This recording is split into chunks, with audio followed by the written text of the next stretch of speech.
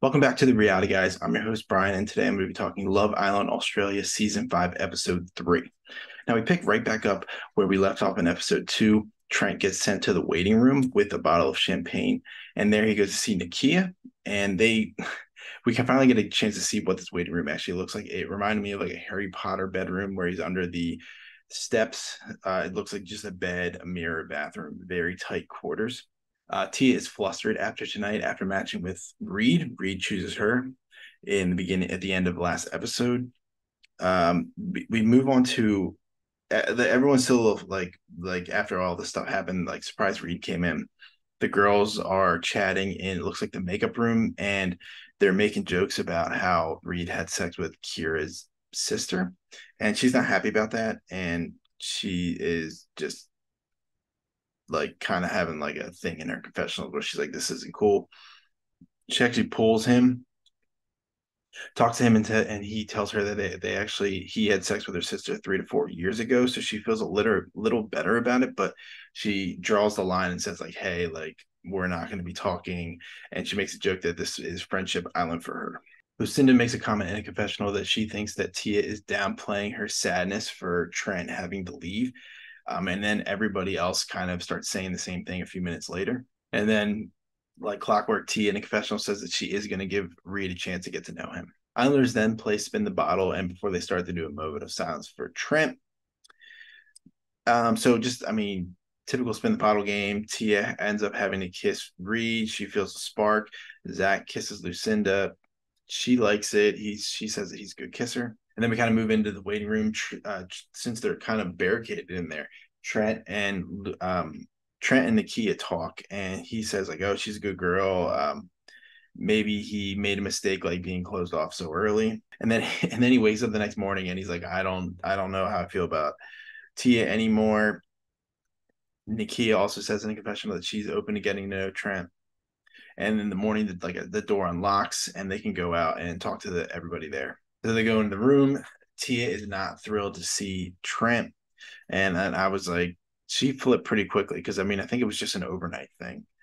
Uh, Zach lets Zach kind of fills in Trent everything that happened, the Tia kissing, how she was like acting towards him. Uh, the girls talk, uh, and they all tell Lucinda that Zach is into her. I'm just get a text that there's going to be a challenge called "Hit It Off," and the premise of this challenge is uh, it was girls first, guy, and then girls go first, then the guys, and they go up, punch a punching bag, slide down a wet slide, pick up a pair of boxing gloves that have a question in it, and then they read the question out loud. They kiss the islander that they think it relates to, and then they pull off a tab to see what the correct answer was. We didn't see all the right answers. They kind of only showed the important ones, which I'm kind of happy about. We don't need to see 10 to 15 minutes of kind of again, just these some of these challenges are just not they're just kind of snooze fest for me. Um, some notables. Ali claims that he has sex nine to fifteen times a week. The girls were pretty surprised by this. He claims that you can have three to four, you can have sex three to four times in one night. He's counting those those times. Uh, Zach fell asleep while he was having sex before. Nakia kidnapped her friend's dog, and Tia had sex with her gym teacher and got caught by the police. So those are some notables. I think all the other ones are pretty blah. Uh, let's see. Lucinda wants to focus on Nate but then is there something inside of her that wants also wants to get to know Zach? Uh, Savannah tells Zach. Savannah tells Zach that Lucinda is into him. This like makes his day. He says he's playing chess, not checkers. Trent and Trent and Tia talk. Um, this goes about as well as expected. He comes out and says like your communication sucks. He feels like he was led on. She kind of agrees with it. She doesn't really give a lot of back, um, like pushback.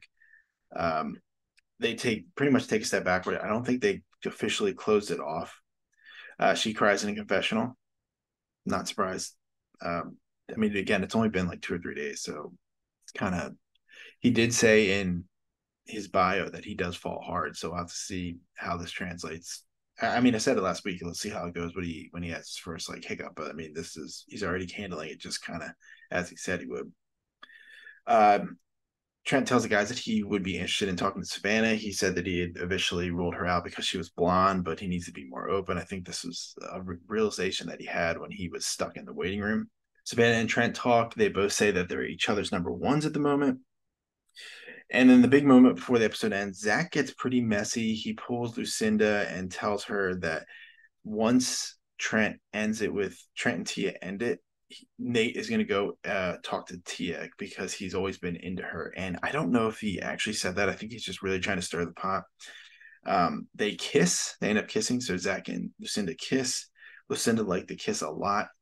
Um, this kind of bleeds into the preview for tomorrow's episode where Nate is pretty pissed at Zach. They have a couple confrontations. I'm interested to see how that goes. And we are teased with Kale, 25 from the Gold Coast. He has like bleach blonde hair and a ton of tattoos. So be interested to see who he vibes with. So I will be back tomorrow for episode four. I think I'm going to try to do it before I catch my flight.